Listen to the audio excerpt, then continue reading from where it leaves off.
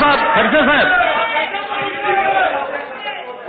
मैं अध्यक्ष महोदय, मैं आपसे पूछना चाहता हूँ और हमारे एमएलए साहब से, मैंने खुद देखा है टीवी पे कि भाई वंदे मातरम हम नहीं कहेंगे, हमारे मज़हब के बाहर रहता है।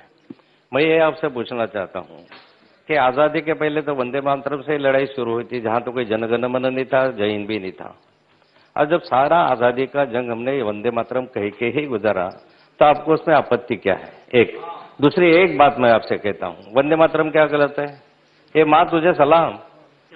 जहाँ हम पैदा हुए हैं, जहाँ हम मुफ़्त में यहाँ के हवा ले रहे हैं, यहाँ हमारे मुफ़्त में पानी ले रहे हैं, मरने के बाद दो गज ज़मीन भी यहाँ की ले रहे हैं। कफन का दो कफन का दो मीटर कपड़ा भी यहाँ से लेंगे, कफन का कपड़ा भी दो मीटर यहाँ से लेंगे और यहाँ दफनाए जाएँगे। अब जब मिट्टी में हम पैदा हुए, जहाँ में हम खड़े रहे, जिसमें हम बचे हैं, बड़े हुए हैं, जहाँ मरने के बाद भी यहाँ रहने वाले हैं, उस मिट्टी को सलाम करने में क्या बड़ी बात है? ये कोई वजब का बात है इसमें?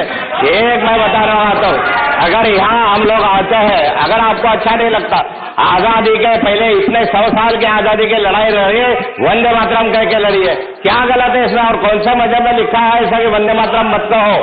किसने कौन सा दिखावा भी यहाँ हे माँ, तुझे सलाम है मातृभूमि को मैं नमस्कार करता हूँ।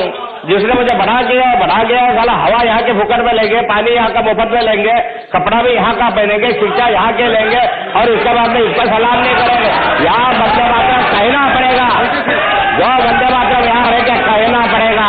इस देश में रहना है तो वंदे मातरम कहना पड़ेगा आपको।